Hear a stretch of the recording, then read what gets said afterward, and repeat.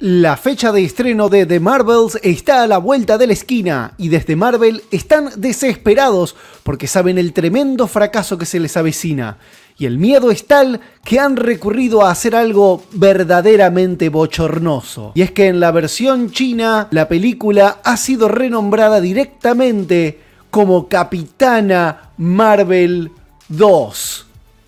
¿Qué tal amigos y amigas? Bienvenidos a Planeta Arcadia y esto denota verdaderamente lo desesperados que se encuentran desde Marvel Disney con tal de simpatizar a la audiencia china con una película que en Occidente nos la recontra, recontra mega venden como la gran película de la diversidad étnica, de las mujeres empoderadas, de la chica musulmana con la chica afroamericana, con la rubia ultrafeminista y el morenazo deconstruido que al final estuvo con una mujer Skrull durante un montón... ¿Un hombre Skrull?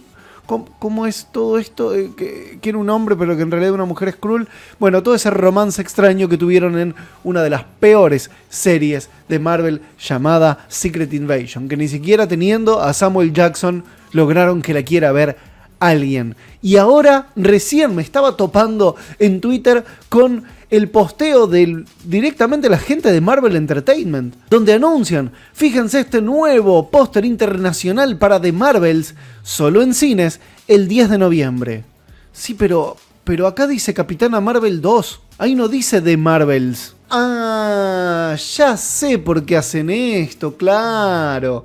Es porque es para vender al mercado chino. Y ya sabemos que en el mercado chino es necesario tener a la persona lo más blanca posible al centro del póster y que sea el total protagonista. Mira, le incluyeron hasta un chinito acá que ni sabíamos que existía, pero nos enteramos que existe en el póster chino.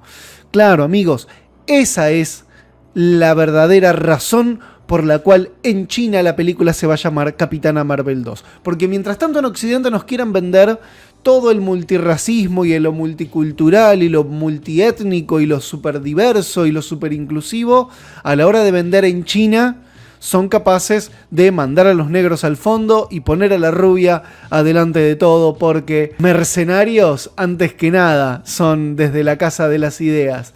Ahora es muy gracioso esto porque te venden un discurso pero aplican totalmente el opuesto. Pero esto no es la primera vez que ocurre amigos.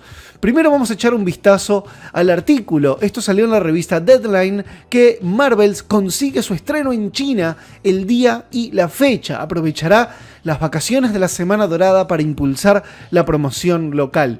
De Marvels se estrenará en China el mismo día que en Estados Unidos, el 10 de noviembre. Atentos a esto, la secuela de Capitana Marvel, que recaudó más de mil millones de dólares en todo el mundo, es el último gran estudio que se le ha concedido acceso al mercado desde que Oppenheimer salió el 30 de agosto. O sea, desde ese momento que no estrenan ninguna película grande americana en China y no se han sido puros fracasos. Y los chinos no quieren saber nada ni con Marvel, no quieren saber nada ni con Disney, no quieren saber nada con nada de todo lo que hacen desde la Casa del Ratón. Tampoco pierden tiempo en correr la voz a nivel local aprovechando el Festival de Medio Otoño el Día Nacional, celebraciones de Semana Dorada durante la próxima semana. Los títulos de Marvel, como ocurre con muchas películas de Hollywood en la era post-pandémica, han experimentado retornos débiles al mercado, bla bla bla bla bla. Wakanda Forever le fue mal, Ant-Man y la avispa Quantum Manía le fue mal. O sea, todas las películas de Marvel les han ido mal desde Avengers Endgame. Ahora, de Marvels llegará a China con tiempo de sobra para una promoción avanzada. Ya hoy la cuenta de Marvel Weibo anunció que el poder de Marvel, de Marvel perdón, se promocionará en el centro financiero Bond de Shanghai durante el Festival del Medio Otoño y los feriados del Día Nacional y Semana Dorada del 29 de septiembre al 6 de octubre. En el mismo sitio y sin relación para Marvel, informó Shine. Bueno, van a ver, bla, bla, bla, van a poner un ambiente romántico para ciudadanos, bueno, todo lo que ustedes quieran etcétera, etcétera. La cuestión, amigos, es que la película de The Marvels no va a ser un éxito. ¿Y saben por qué? Porque esta vez no tienen una Infinity War y una Avengers Endgame entre cada punta como para aprovecharse de decir, no, para antes de ver el capítulo final tenés que ver esta película.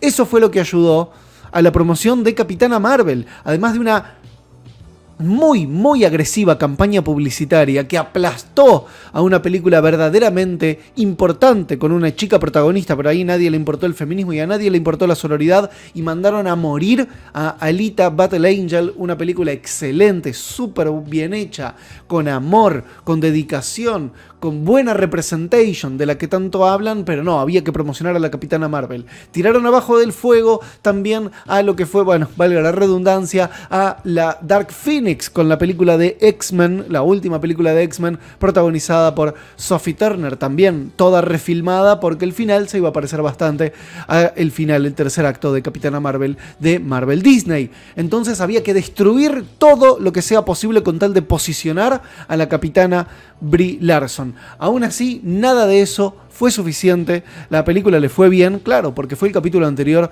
a Avengers Endgame y la gente iba a ir a verla inevitablemente porque pensaban que era un episodio crucial, sin embargo no lo era. Pero volviendo al tema del póster, de la importancia de que para vender la película en China tengan que poner a la rubia blanca adelante de todo en el afiche, esto no es la primera vez que ocurre, chicos. Acordémonos lo que pasó con Star Wars episodio 7 de Force Awakens, esto no me voy a cansar nunca de recordarlo, cuando mandaron al negro a Finn, lo mandaba en el afiche occidental, lo tenemos acá bastante, bastante bien, en grande, esperen que lo voy a poner en pantalla completa, lo tenemos acá a Finn, y en el afiche chino lo tenemos acá, chiquitito, al fondo, perdidito, cosa de que nadie lo vea demasiado. También tuvimos el caso del el afiche de la película de Black Panther en la versión de China. Le pusieron una máscara para que no se note tanto que la película llamada Black Panther estaba protagonizada por un black, en este caso Chadwick Boseman. Los chinos no son fans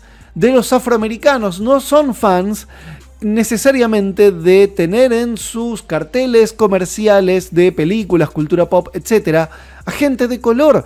No son fans de eso y lo han demostrado reiteradas veces.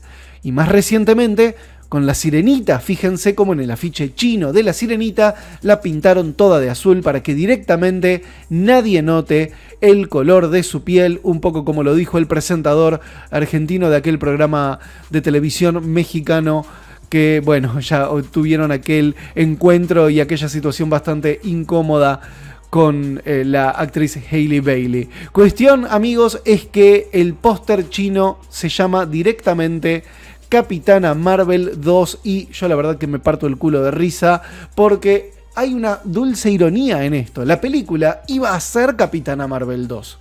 En realidad iba a ser Capitana Marvel 2. Iba a ser dirigida por Brie Larson. Y al final, en pos de no, hay que meter más voces de afromujeres que son todas, viste, minoría dentro de la minoría, dentro de la minoría oprimida, para que dirija la película, porque tenemos que tener ¿no? la voz de una activista de Black Lives Matter dirigiendo.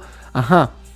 Me estoy empezando a preguntar si en el afiche chino siquiera Nia Da Costa está acreditada como directora de la película, porque la verdad que me parece que no les va a ser muy comercial eh, en términos chinos de cine. Vos fíjate cómo ponen a la rubia blanca adelante de todo. Ahora, para vender la película en China, ya sabemos que los chinos no quieren saber nada ni con Marvel, ni con Disney, ni con nada. Hacen algo que dejaron de hacer en Occidente. La idea era que en Occidente tuviéramos Capitana Marvel 2. No, la van a tener los chinos. O sea, la película The Marvels en realidad siempre se intentó que sea Capitana Marvel 2.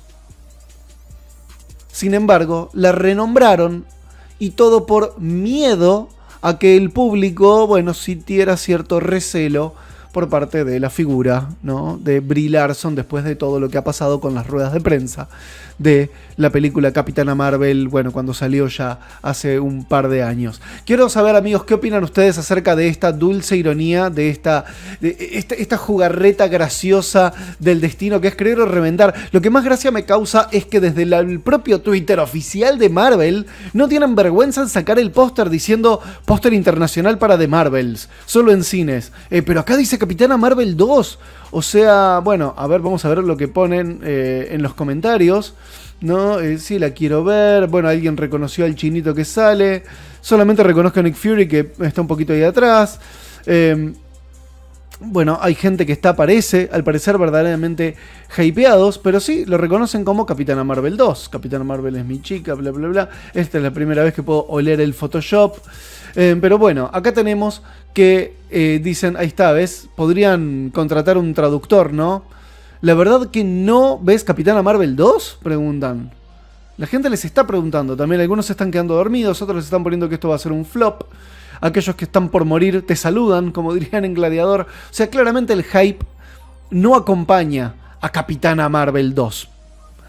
Así como tampoco las pelotas y el compromiso por parte de Marvel. Este es uno de los últimos muertos que dejó en su tendal la Argentina echada Victoria Alonso, echada de Marvel, ex vicepresidenta, echada de Marvel previo al escándalo de la huelga, sino la verdad que le hubieran tirado un muerto bastante más jodido con todo el tema de los trabajadores precarizados de efectos especiales, etcétera, etcétera. ¿Cómo habrán terminado los efectos de Capitana Marvel 2 o de Marvels? ¿Qué tal estará la película? Y bueno, vamos a esperar al 10 de noviembre uh, para enterarnos, por supuesto que la estaremos viendo, para ver qué tal y les traeré acá a Planeta Arcadia todo lo que es eh, el review, la crítica, el análisis y qué pueden esperar a la hora de ver esta nueva película de Marvel que todo indica y todo pinta va a ser un bodrio sin precedentes y un fracasazo, uno de los últimos grandes fracasos de Disney para el año 2023, justo antes del estreno de la animada